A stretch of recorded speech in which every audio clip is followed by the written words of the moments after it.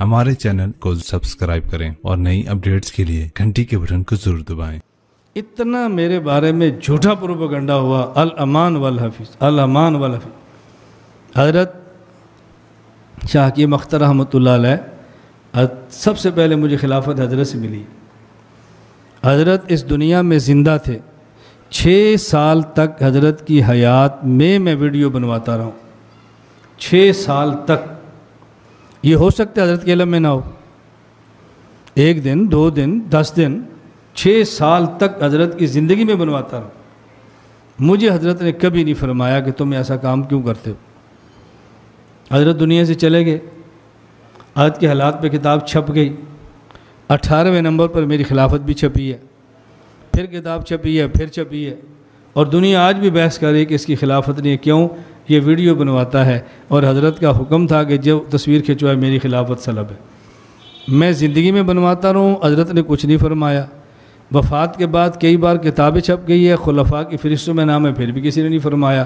اور یہ دنیا میں بیٹھے پریشان ہیں بے اس کی خلافت سلب ہو گئی ہے۔ کیوں؟ حضرت نے فرمایا تھا۔ چل۔ میں نے کہا، یار، اگر تم نے کہنا بھی ہے تو مجھے کو نا۔ مجھے کہنا چاہیے نا۔ آپ میرے مرید کو کہتے ہو بھی تمہارے پیر صاحب کسی کے خلیفہ نہیں ہے۔ تو یہ بات مجھے کو اپنے نام کے ساتھ تو میں خلیفہ لکھتا ہوں نا، مرید تو نہیں لکھتا۔ مجھے کو تاکہ میں لکھنا چھوڑ دوں۔ مجھے نہیں کہنا، مرید سے کہنا۔ عنوان کیا ہے؟ اصلاح، ہے فساد۔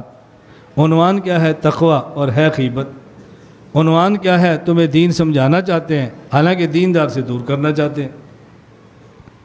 میری گزارش سمجھ آ رہی ہے آپ؟ میں نے کبھی چوری کام نہیں کیا۔ اچھی طرح ذہن نشین فرماؤ، کبھی چوری نہیں کیا۔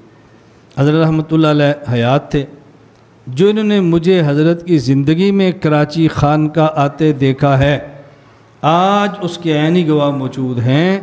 میں جب حضرت کی مجلس میں آتا، پیچھے بیٹھا ہوتا مجلس کے دوران بلا کر مجھے اپنے قریب بٹھاتے تھے۔ آج بھی اس کے چشم دید گواہ موجود ہیں۔ پھر نام لے کر فرماتے، مولانا محمد الیاس گھومن، یہ میرے خلیفہ ہیں اور ان کا سرگودا میں بہت بڑا مدرسہ ہے۔ بھر فرماتے تھے، میں ایک بار کراجی خانقاہ میں آیا۔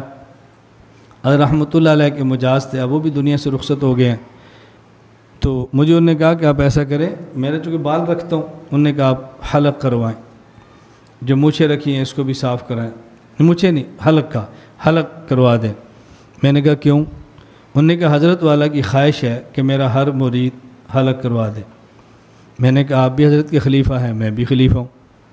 حضرت اپنی خواہش آپ کو فرما سکتے ہیں، مجھے نہیں فرما سکتے۔ میں حضرت کو دھوکہ نہیں دینا چاہتا۔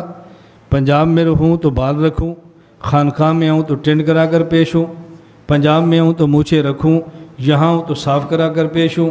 پنجاب میں ہوں تو پگڑی باندھوں، حضرت کے پاس ہوں تو ٹوپی باندھ، میں میں نہیں کر سکتا۔ میں اسی حالت میں جانا چاہتا ہوں تاکہ میرے شیخ مجھے فرمائیں، یہ ٹھیک ہے، یہ غلط ہے۔ میں اپنے شیخ کو دھوکہ نہیں دینا چاہتا۔ خدا کی قسم مجھے نہ حضرت نے فرمایا پگڑی نہ پہن دو نہ حضرت نے فرمایا تم ٹینڈ کرواؤ، نہ حضرت نے فرمایا کہ تم مجھے صاف کرواؤ۔ ہمارے شیخ تو یوں تھے۔